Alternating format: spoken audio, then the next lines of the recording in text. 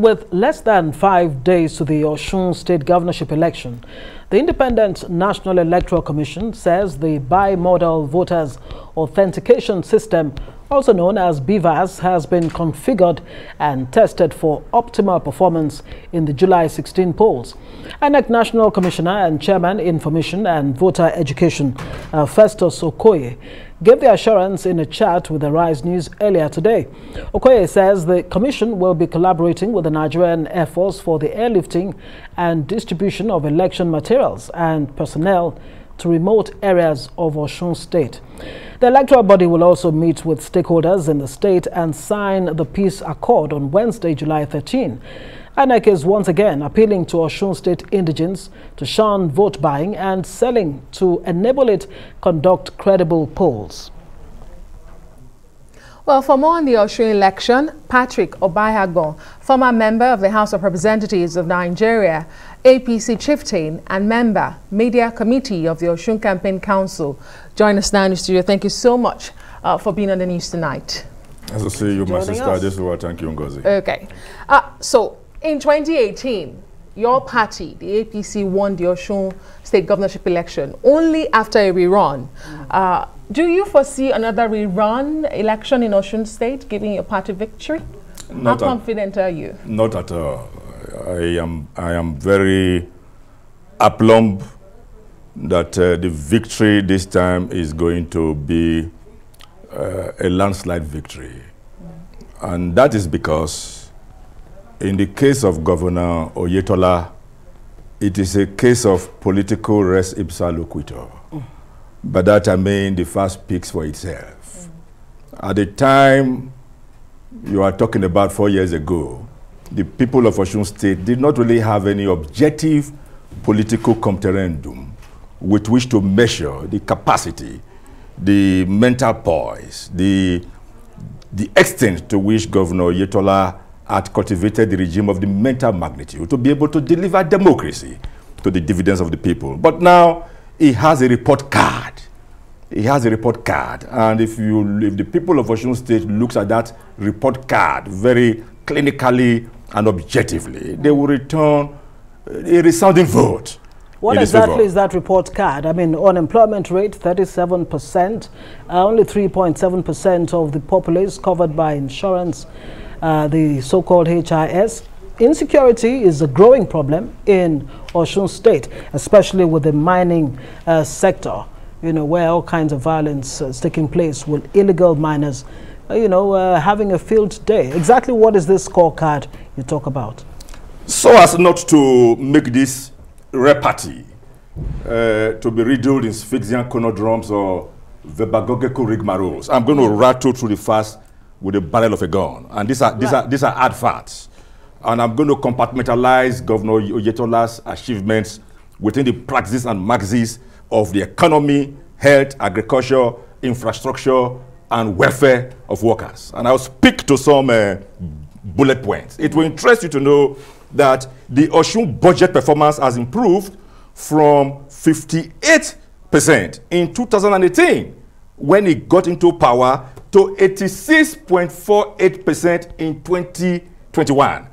That is a, a cornucopious testamentary to his fiscal responsibility.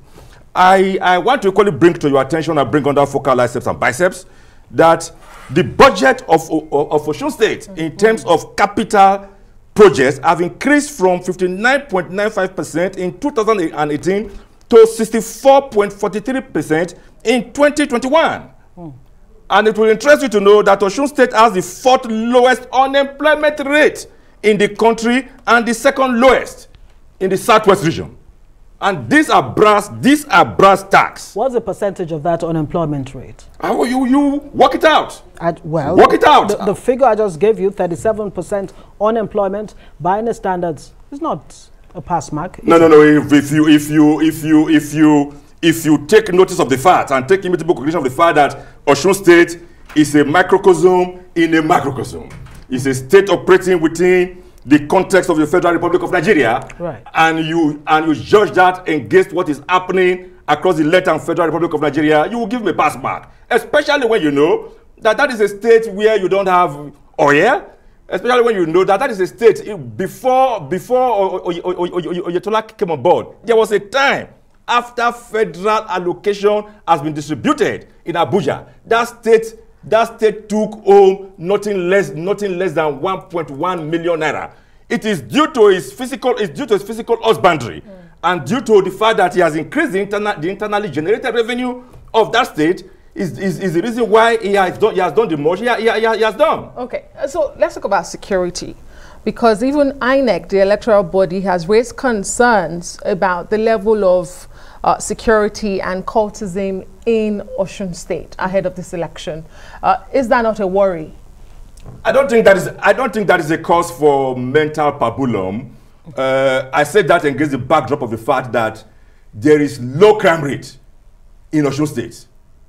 Osun State, Osun State and Osun, uh, government has been able has been able to curb the rate of crimes in their state. So I think it is uh, it is alarmist, and uh, it is uh, it is no cause for, for, for worry. Is this alarmist to disrupt collection of PVCs? Because we saw that happen in Ilesha. Mm -hmm.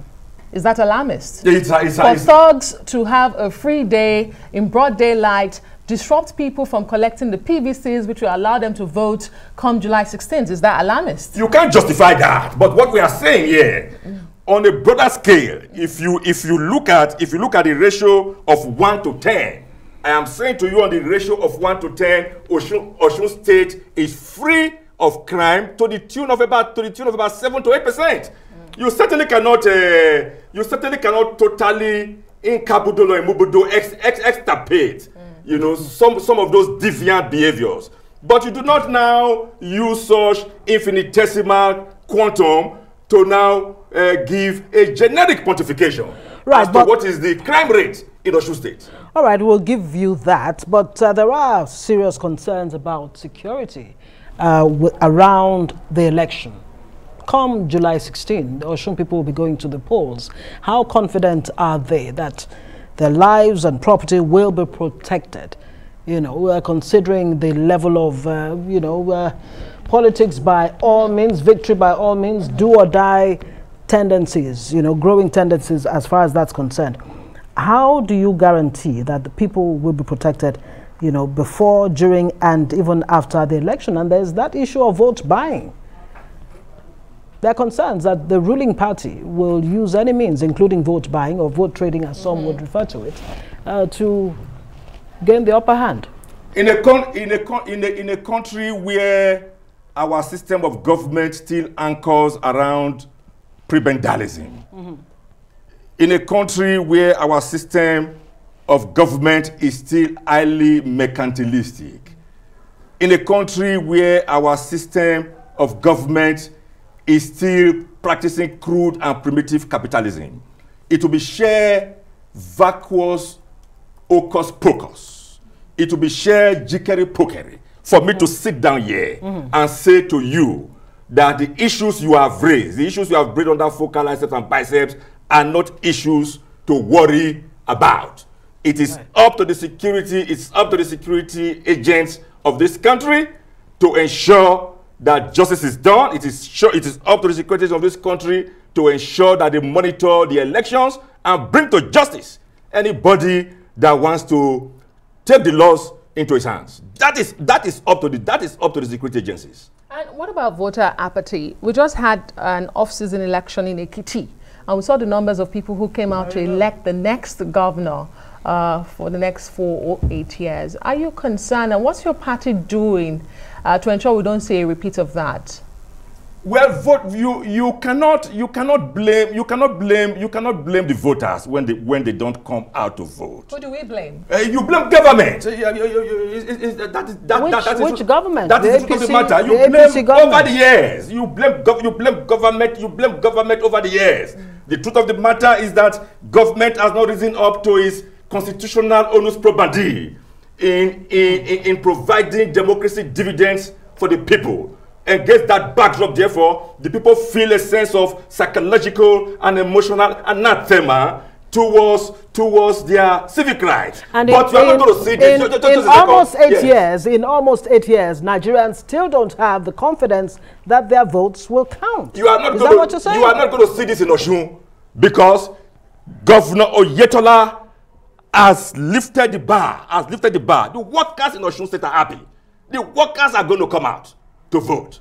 He has fulfilled his constitutional obligations to the workers in, in, in, in, in, in, in Osun State. In every material particular, I can assure you that you are going to see a paradigm shift. You are going to see a paradigm shift in terms of, in terms of the mobilization, in terms of the emotional paroxysm of frenzyism that Oshunites are going to show in this election. We'll have to leave it there. Patrick. Obahiagbon, Be covering the APC chieftain. Absolutely, you can be sure of that. We will. We are on ground already in Osun to give you all the uh, events as they unfold uh, there in Osun State. Patrick Obahiagbon, APC chieftain and me, uh, member media committee of Osun Campaign Council, joining us there.